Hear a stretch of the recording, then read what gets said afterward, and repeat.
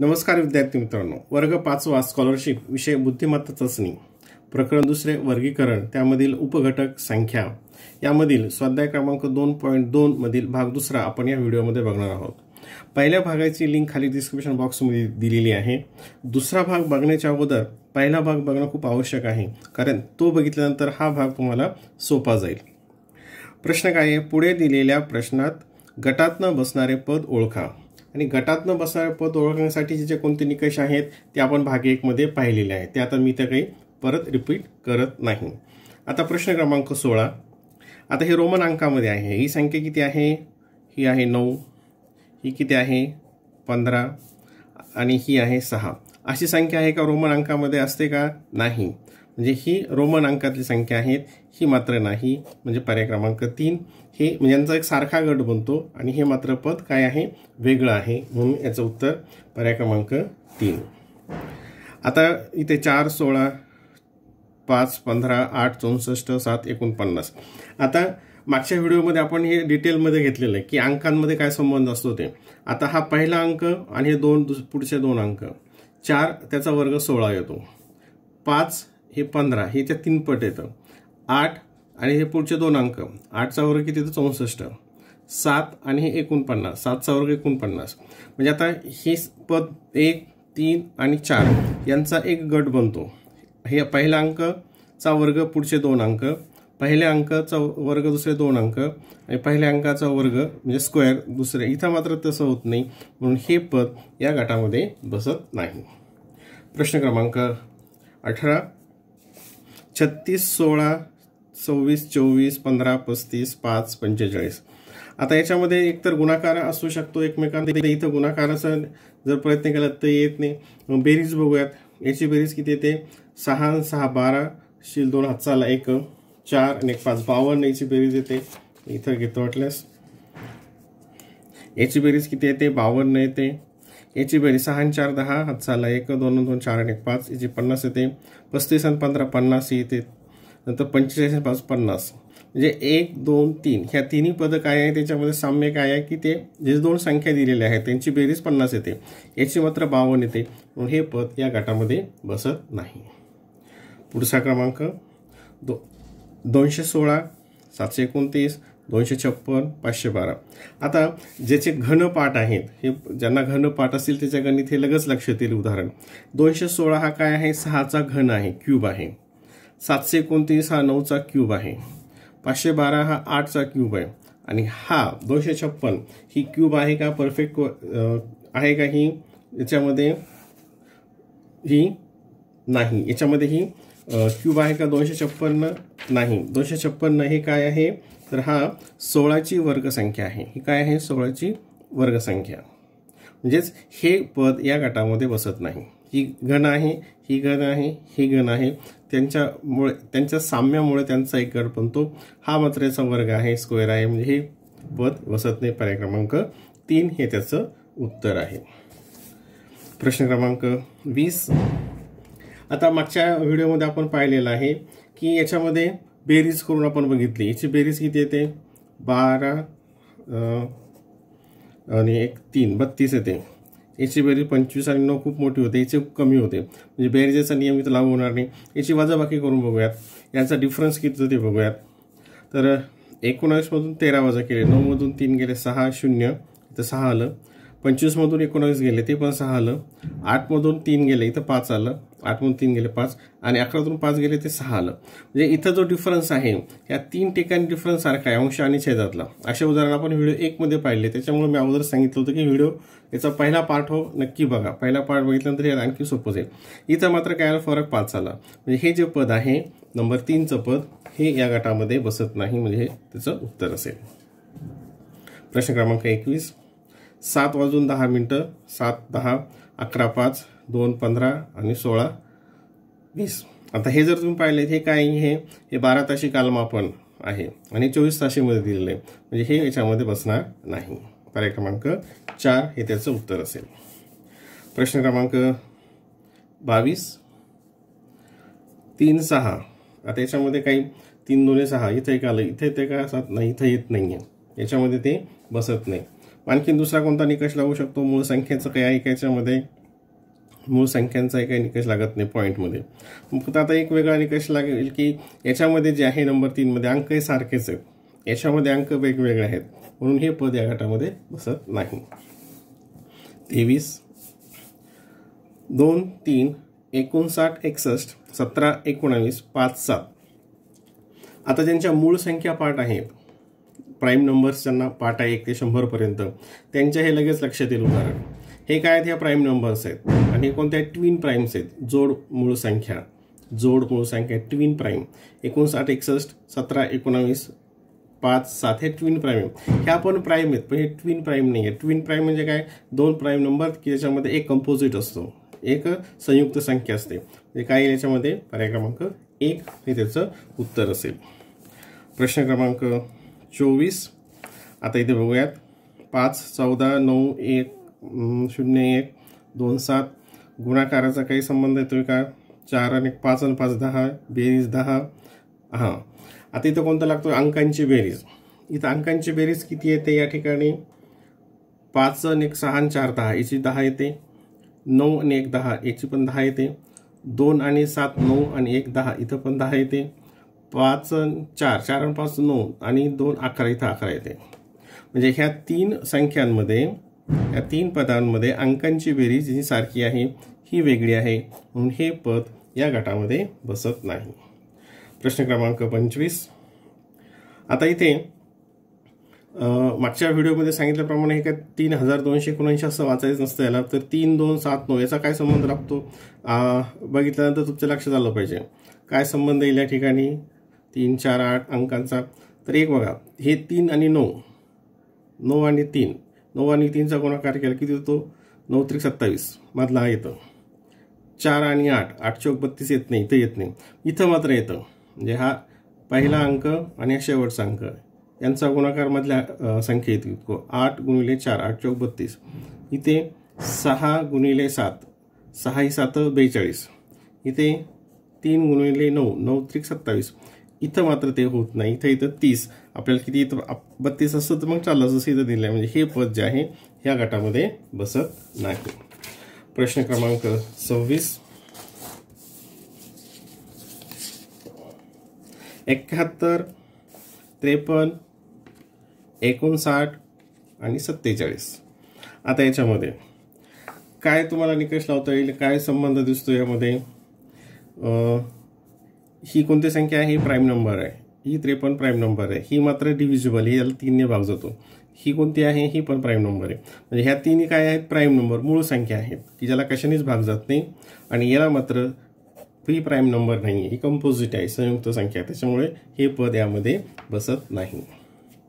प्रश्न क्रमांक सत्तावीस. पस्तीस. सातशे अकरा. आता आपण सातशे अकरा असं म्हटलं तर याचा त्याचा काही मेळ लागणार नाही. असा याचा याचा काही मेळ लागणार नाही. मग तीन पाच असं म्हणूयात. तीन पाच सात अकरा पाच सात आणि सतरा नऊ किंवा सतरा नऊ. ठीक आहे? आता इथं काय होतं बघा. हे अंक जेव्हा आपण असं वाचूयात तीन पाच ही आणि त्याची पुढची मूळ संख्या प्राईम नंबर्स सात अकरा. ही सात आणि त्याच्या पुढची प्राईम नंबर अकरा. पाच सात. पाच ही प्राईम नंबर मूळ संख्या आहे त्याच्या पुढची सात ही मूळ संख्या इथं मात्र सतरा. आणि ही मूळ संख्या आहे पण नऊ ही मूळ संख्या आहे का? नाही. ही संयुक्त संख्या आहे. म्हणजे याच्यामध्ये ही मूळ संख्या ही मूळ संख्या ही मूळ संख्या ही मूळ संख्या ही मूळ संख्या ही मूळ संख्या याच्यामध्ये होत नाही. म्हणजे हे पद या गटामध्ये बसत नाही. पर्याय क्रमांक चार. प्रश्न क्रमांक अठ्ठावीस. एक छेद बारा दोन छेद सात चार तीन. आता त्याच्यामध्ये बेरीज येते तेरा बेरीजच निकष लागत नाही. गुणाकार बारा एक बारा सात दोन चौदा चार त्रिक बारा साडे दोन बारा. आता इथं गुणाकाराचा निकष लावला तर इथं कोणतं पद येतं या ठिकाणी? दोन छेद सात याचं उत्तर येतं. म्हणजे याचा आणि याचा गुणाकार की त्याला बारा आला. याचा याचा गुणाकार बारा आला. याचा याचा गुणाकार बारा आला. म्हणजे हे उत्तर येतं. किंवा दुसरं आणखीन उत्तर आपल्याला कसं येईल? की याला आपल्याला भाग जात नाही इथे भाग जात नाही इथे भाग जात नाही. इथे मात्र भाग जातो. बेत्रिक सहा. म्हणजे हे पण उत्तर येऊ शकते. हे दोन येतं चार येतं. परीक्षेमध्ये मात्र असे कन्फ्यूज करायला उदाहरणं येत नाहीत. प्रश्न क्रमांक एकोणतीस. एक्स म्हणजे दहा एल पन्नास डी पाचशे रोमन अंक पी मात्र रोमन आकड्यामध्ये कुठेच नाही आहे याचा अर्थ होतो दहा याचा अर्थ होतो पन्नास आणि याचा अर्थ होतो पाचशे.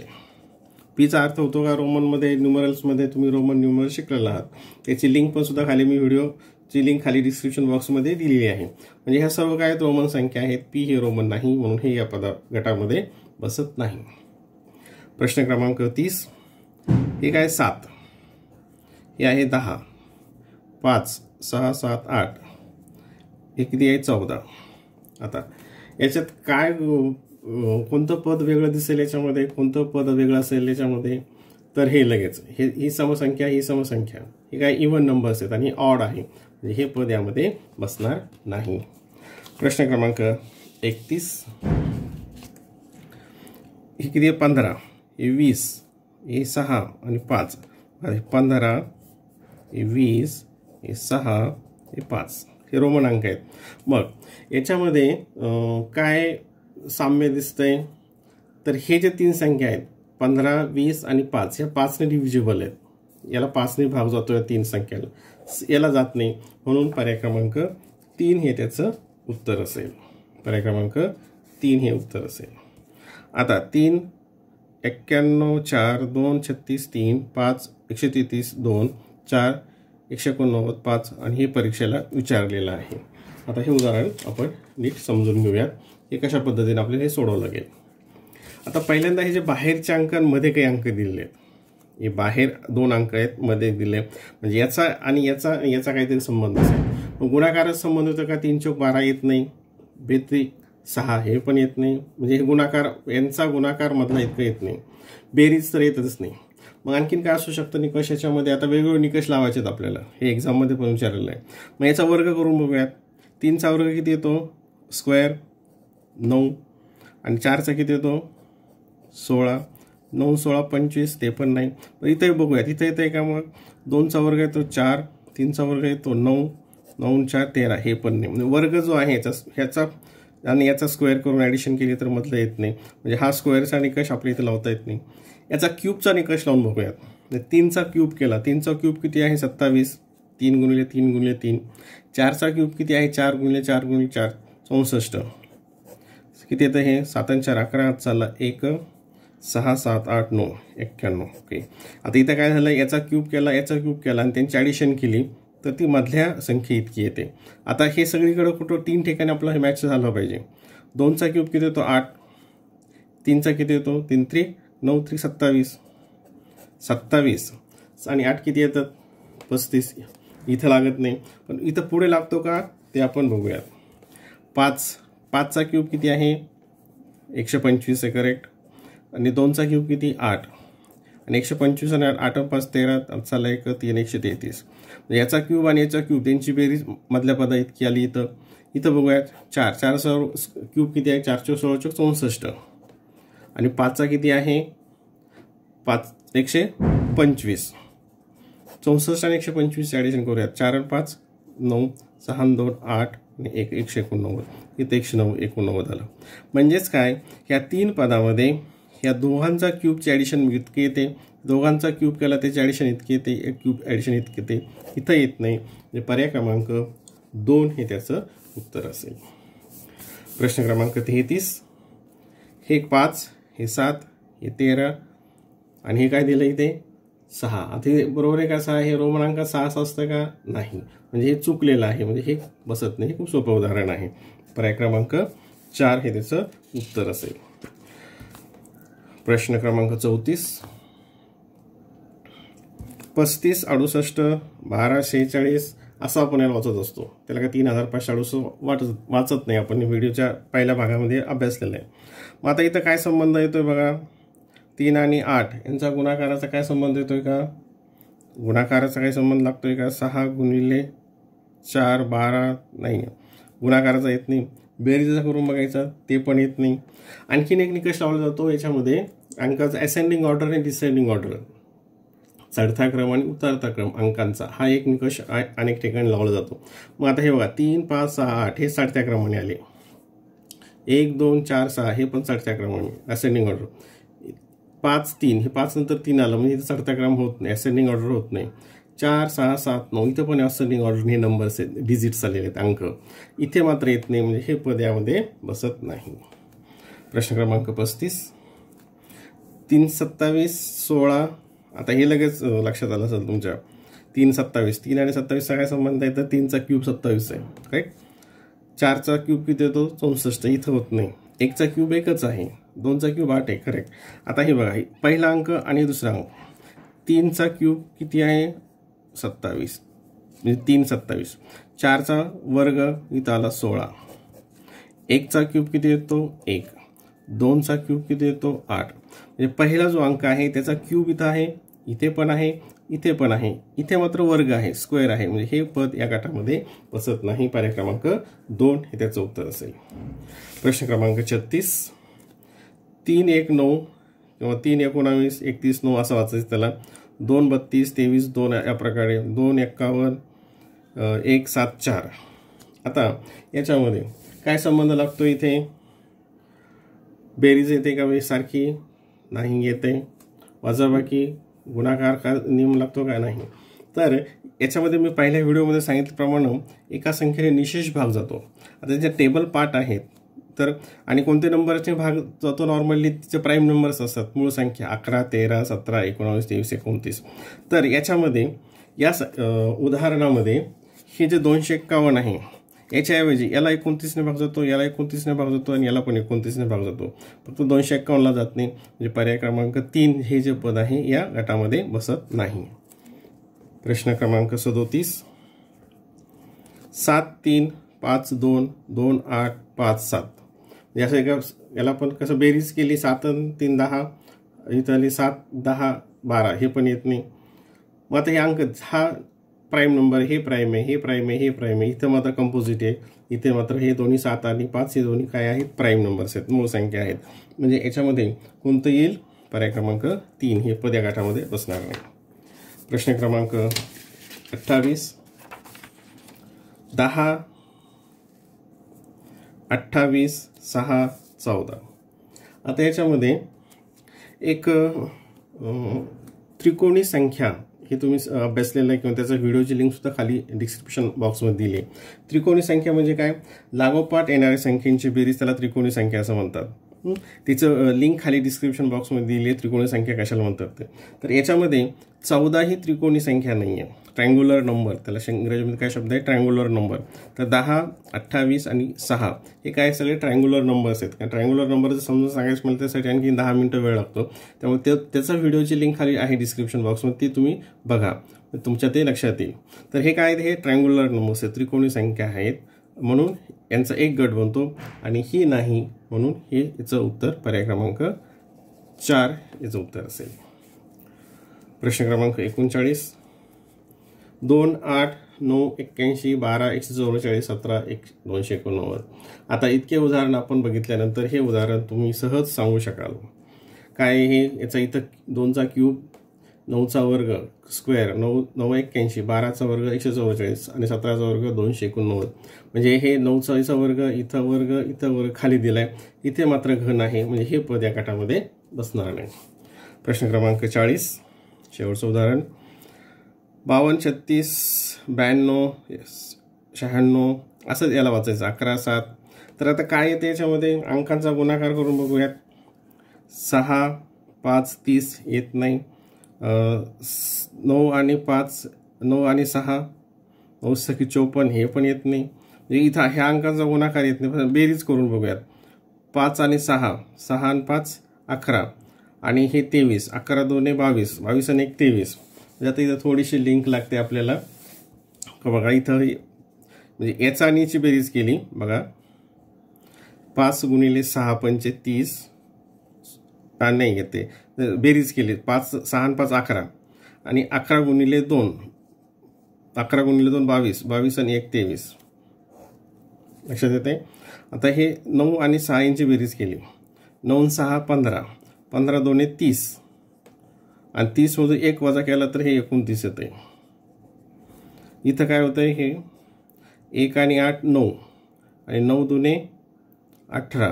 अठरातून एक वजा केला तर इथं मधलं अंक येतो सतरा संख्या येते सतरा. इथे सात आणि तीन दहा. सात आणि तीन दहा. आणि इथं काय केलं? दहा गुणिले दोन दहा दोन वीस. आणि वीसमध्ये काय केलं? एक वजा केला. वीस अधिक एक बरोबर? एकवीस. आणि इथं इथं अधिक आलं. इथे दोन सहा पंधरा दोन तीस इथं वजा केलं. सात आठ एक नऊ दोन अठरा सात तीन दहा. आणि दहा गुणिले दोन दहा दोने वीस. दहा दोने पर्याय क्रमांक चारमध्ये सात तीन दहा गुणिले दोन. किती येतात आहे इथं एकोणावीस. इथं जो ऑप्शन दिलेला आहे हे ऑप्शन इथं ही संख्या सात ॲक्च्युली ही सात एकोणावीस तीन असं इथं ऑप्शन आहे. इथं चुकून तसं झालेलं आहे. म्हणजे इथं काय येईल हे वजा केलं तर एकोणावीस आलं. सात आणि तीनची बेरीज सात आणि तीन दहा.